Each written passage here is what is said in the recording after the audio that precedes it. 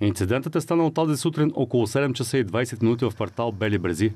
Маскираните са прибили професор Станчев с метални тръби. 58 годишният мъж е разхождал кучето си в района на квартала, когато е бил атакуван. Пристигналият на място полицейски екип е намерил мъжа в безпомощно състояние. Линейка веднага е откарала лекар в окръжна болница в тежко състояние. Има опасност за зрението му.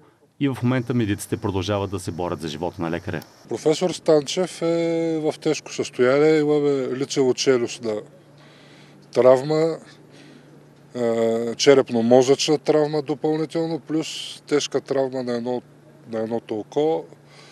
И в момента неговите колеги от болницата буквално правят операция след операция, за да го стабилизират и спасят. Но докато не приключат операциите, просто няма начин да... Всякакви предварителни информации са спекулации.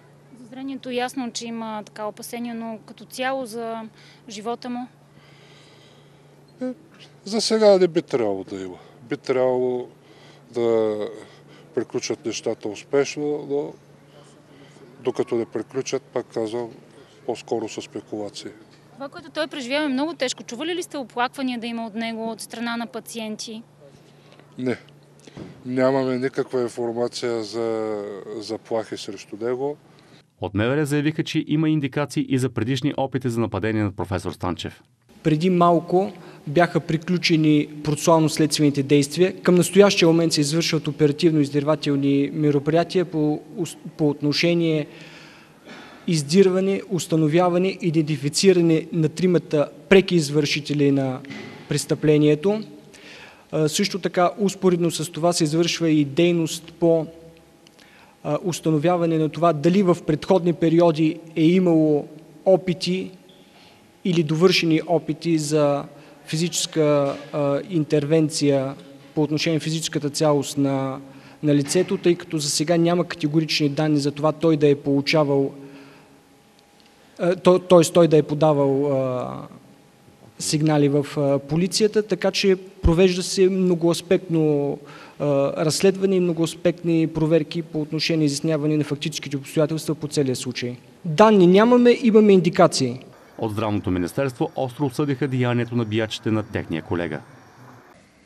Стефан Станчев е мой приятел от 20 години. Работили сме в една операционна толкова време.